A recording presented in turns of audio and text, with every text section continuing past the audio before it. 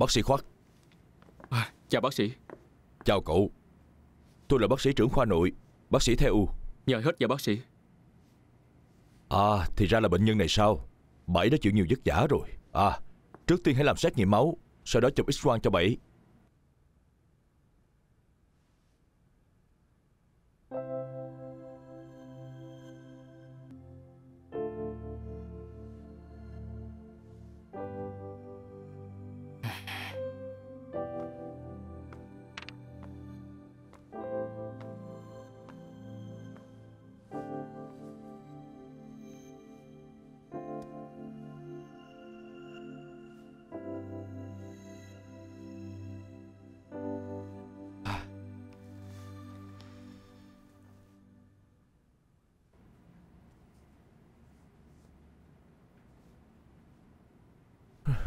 Chị ơi, sao em lại không thấy quản lý gì hả?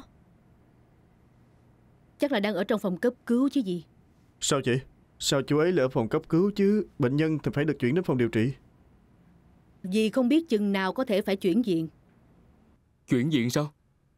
Tại sao lại phải chuyển viện? Bởi vì ở đây không có bác sĩ phẫu thuật Không phải có bác sĩ xong sao? Cậu vẫn chưa biết à Bác sĩ Song đã bị sa thải khỏi bệnh viện từ ngày hôm nay rồi.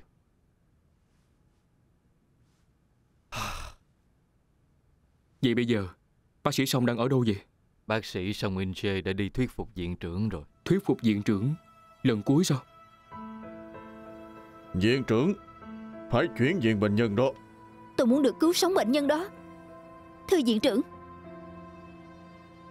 Viện trưởng Kim hãy nghĩ điều lệ mà tập đoàn đưa xong chúng tôi đã hứa. Thưa viện trưởng.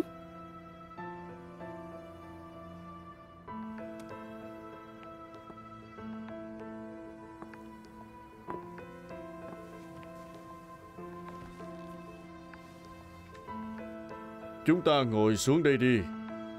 Đừng để tâm đến bác sĩ xong nữa. Chúng ta nói chuyện một chút nào.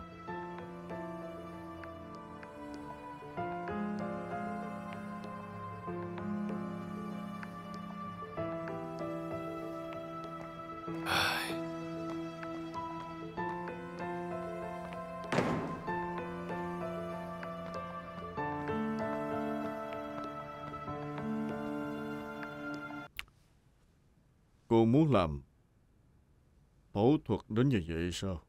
Tất nhiên rồi. Vậy thì để cô làm thôi. Chủ tịch cho phép tôi làm phẫu thuật sao? Tuy nhiên, tôi có một điều kiện. Tôi sẽ tập hợp các ký giả. Và cô sẽ phải nói một vài điều về tàu y khoa. Ý chủ tịch muốn tôi chỉ trích tàu y khoa sao? Tôi đâu phải là người vô tình như vậy.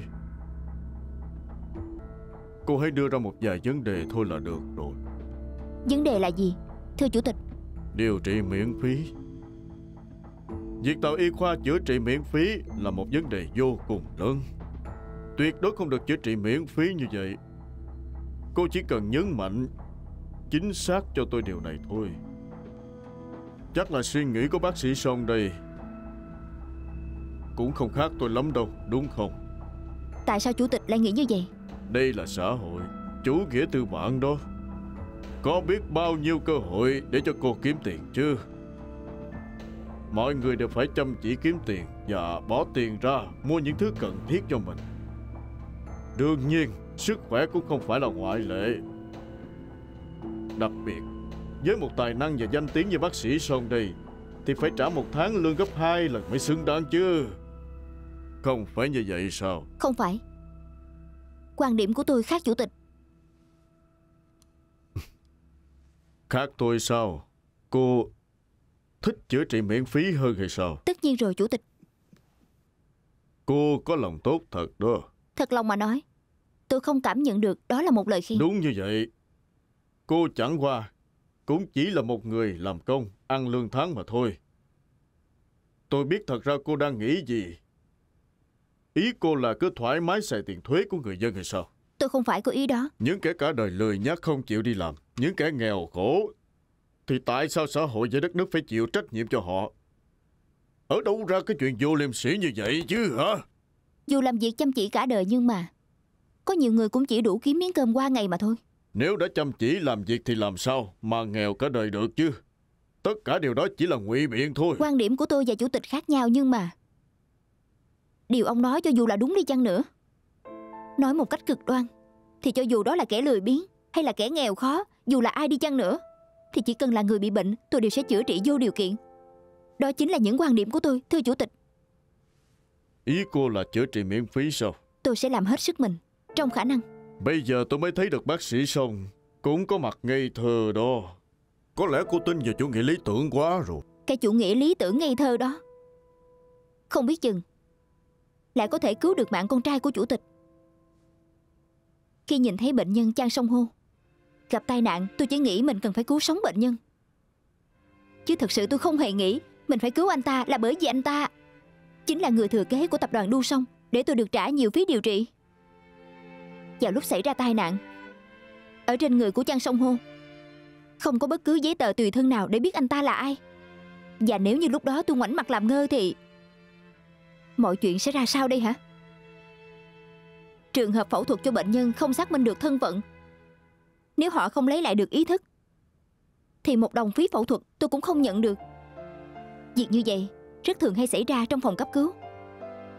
Tôi cũng đã nghe rất nhiều rằng Đường phẫu thuật cho bệnh nhân không có khả năng chi trả viện phí.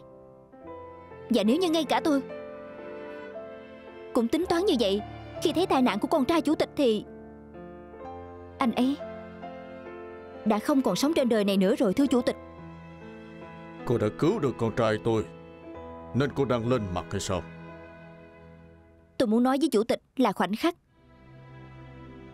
Mà tiền mua được sức khỏe Thì lúc đó tính mạng con người có thể mang ra đấu giá rồi. Nè bác sĩ Song Ương Chê. Cô ngây thơ thật Hay là đang giả vờ ngây thơ vậy? Thật sự Cô nghĩ tính mạng ai cũng như nhau hay sao? Không phải. Vậy thì sao? Tôi nghĩ cái giá của tính mạng con người là quá lớn Cho nên cần Phải cung cấp nhiều dịch vụ y tế miễn phí hơn nữa cho mọi người. Là bệnh nhân Kim Song Hy sao? Tên của bệnh nhân đó. Đúng vậy thưa viện trưởng. Cô muốn cứu bệnh nhân đó hay sao? Sao có thể như vậy được chứ? Vậy sao cách cô thỏa thuận với tôi lại như vậy hả? Không có một bác sĩ nào lại mang tính mạng của con người ra thỏa thuận. Bởi vì dù là tính mạng của bất kỳ ai, Thì giá trị của tính mạng con người đó, Dù là thần thánh đi nữa, Cũng không thể tùy tiện quyết định được.